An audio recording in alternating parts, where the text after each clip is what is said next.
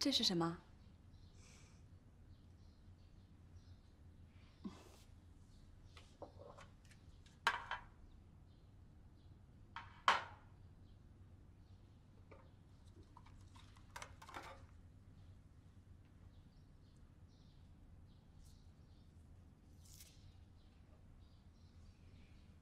这些照片是我跟肖战在一起这么多年所有美好的回忆。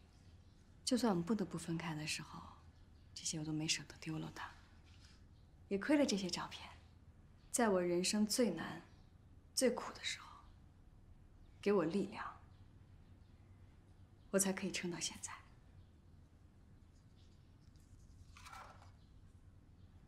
我这个人笨。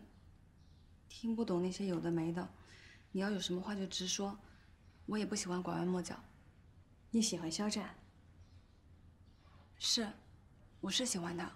肖战现在接受你了吗？没有，他没有任何表示过。哦，那我没什么可说的了。这东西我还是收起来吧。你就算留着，那也是过去的回忆，没有什么意义。但是只要有新的东西可以装到这个盒子里，过去的一切就会变得更有意义。肖战他又要跟你在一起了吗？暂时没有，不过我相信应该快了。那我们两个没什么差别啊。我跟你当然不一样，我跟肖战是有情感基础的。这个盒子里面装的。只是很小的一部分，关于肖战所有的一切，我都记在这儿了。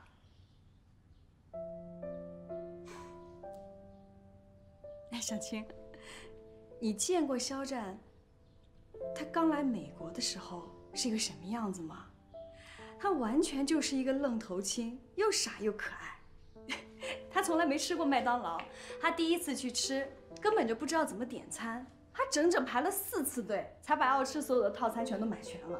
还有啊，他第一次公开演讲的时候，你都不知道他有多紧张，紧张到他不停的喝水，喝了整整两大罐水，搞到最后他要不停的上厕所。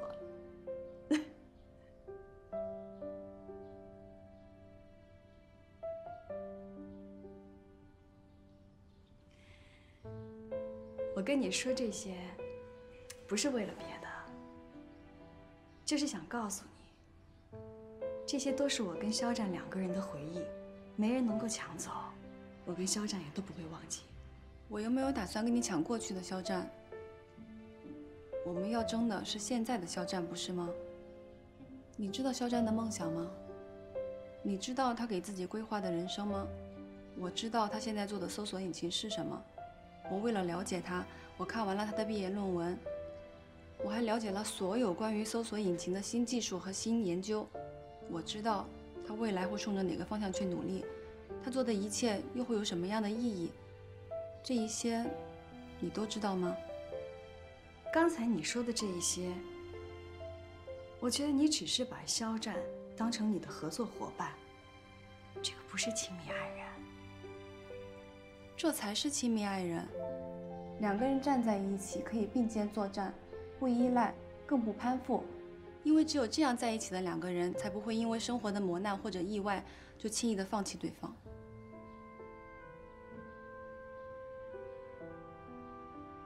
你在讽刺我？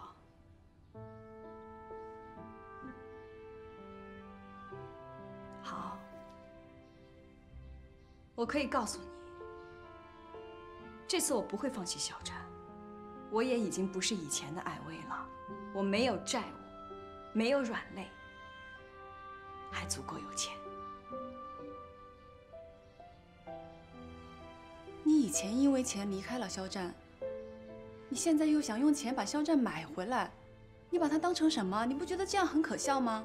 可笑的是你，你一直活在你自己的象牙塔里面。你知道钱有多重要吗？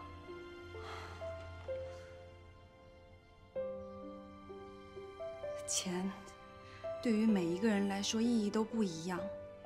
肖战有钱，他妈以前就给他办过一张银行卡，隔段时间就会往里边存钱。什么时候？是你们两个分手之前的事儿。他不想告诉你，是因为他妈妈开出了条件，如果肖战选择用了这笔钱，他就必须要听家里的话，就要和你分手。他宁可一个礼拜不吃饭、喝凉水，或者吃一个礼拜过期的面包，或是睡在卫生间里面，他都不会用这笔钱的一分一毫。他有自己做人的原则。这样的肖战，你懂吗？你和钱已经把他伤透了。